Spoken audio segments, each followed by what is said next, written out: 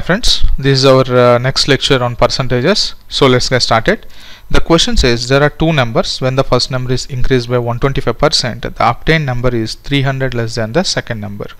And if the first number is increased by 150, then the obtained number is 200 less than the second number. Find out the sum of the two numbers. This is your question. Now, as and when you are reading question, by the time you reach the end of the question, you should be able to assimilate the information correctly and also you should know what method to follow, right? It should strike in your mind. This comes with practice, right? Practicing every question in the smart way will help you and that will definitely give you an edge over, right? Now, as and when you see a question, don't bluntly go with equations, right? This is a normal traditional way of the solving the question. As and when people read the question they start assuming x's is all these things but don't imagine that way. Your first step should be trying to uh, solving the question without using any variables which means you are actually understanding the question correctly right? So before solving this question try to pause the video and solve it on your own and then you compare your solution with mine. That that will be the most effective way of learning the techniques right? So so let me solve this question. Right. There are two numbers okay so let this be first number and let this be second number. There are two numbers. When the first number is increased by 125% the obtained number is 300 less than the second number. So I will increase this by 125% if this number is increased by 125% I'll be getting I'll be getting third number right? So I'll be getting third number here. 1 2 3 is nothing but first number second number and third number. Now he says that the difference here is nothing but how much? 300 okay 300 less than the second number that's why I have written 3 to the left side of uh, 2 Similarly, he says if the first number is increased by 150, don't think it is a print mistake, 150 is correct, right? So, if the number is increased by 150, then the obtained number will be 200 less than the second number. 200 less than the second number means uh, definitely the third number obtained will be uh, more in the second case, right? Now, this happens when there is an increase of plus 150 okay? Now if you are well versed with solving the questions orally you need not even draw the diagram. As and when you are reading the question you will be able to imagine this diagram in your mind right? Now 150 is increased you get the third number and the distance between third number and second number will be how much? It will be 200 okay 200 here is the number 2 now always whenever you're solving questions with uh, without using any variables your assumptions play an important role right? The more smarter way you assume the more smarter the solution will be right? Here what can I assume? I will assume that my first number is not increased by 150 right? What I can do is when my first number is increased by 150 then I am getting a number which is 200 less than the second number. Now imagine you are not increasing your first number. What happens then? You are not increasing your numbers first number by 150 I'm taking 150 because that is a constant. I am not giving 150 to my third number.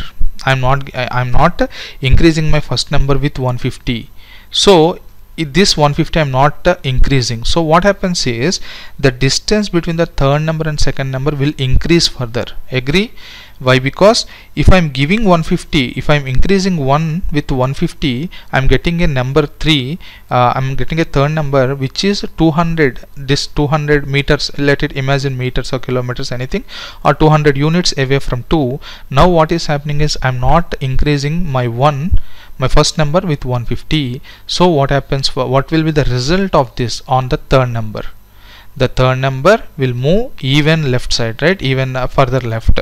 So what happens is if I don't increase this okay let this be this. I'll draw with a blue color. So this will be minus 150 I'm not increasing. That means I'm not increasing okay? So here you will get the third number and the distance between third number and the second number now will be it will move 150 units further left right? So it will be 350 that's it. Okay? Now you have to observe one thing here. My one is here here also one here also one. The first number is not moving anywhere because I am keeping the first number as constant. My second number is also not moving anywhere right? It is also at the same place. What is the difference you can see here? You have 3 here okay? Right? You have 3 here and you have 3 here. Let us do this right. So if you draw a line here third number third number this is your another number. Okay? This particular distance this particular distance what is this particular distance? Difference is nothing but here it is 350 and here is 30 so from here to here it is 350 right? From here to here it is 350 and here to here 30 so this difference is nothing but 50 right? If you consider this case and this case what you are seeing there the difference this difference of 50 is happening because there is an increase of 125 percent. That's it right? In this case there is no change with 1 first number is not changing right? But here there is an increase of 125 percent and that is the reason why you're getting this gap of 50 so from this what you can say is 125 percent is equivalent to 50 now remember anytime whenever you want to find original number that means you have to take 100 percent. 100 percent of a number will be the original number.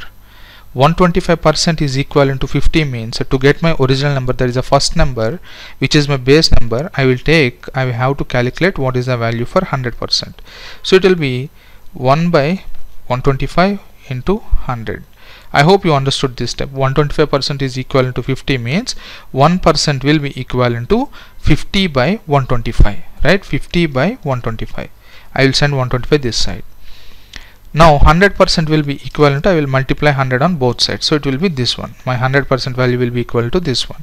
So 5 tens are 525 are 25 goes 4 times. So this will be 40 that means my original number is nothing but 40 we got this. Now your question is not about first number or second number. Your question is the sum of a first number and second number. What is your second number here so once you got your uh, first number first number how will you find your second number? It's simple. Your first number is nothing but 40 let me replace this. Done. Your first number is 40 and from 40 your first number the distance to the third number is 150 right? That means when your 40 is increased by 150 okay? When your 40 is increased by 150 you will get your third number. So what is your third number here? 40 plus 150 which is 190 right? So when you got 190 it is at a difference of 200 units from 2 right? So what will be your value of 2 your value of 2 will be plus 200 which is 390 so your first number is 40 your second number is 390 what is the sum of both the numbers? It will be 430 that's it. So 430 will be your answer. Now this question might look complex but don't worry I, I, this is a tougher question only. This is a level 5 question but then I told you the easiest way to solve the question right? Now don't get uh, demotivated by looking at the level 5 questions. It helps you to think in a logical way right? Now in this question what is your takeaway?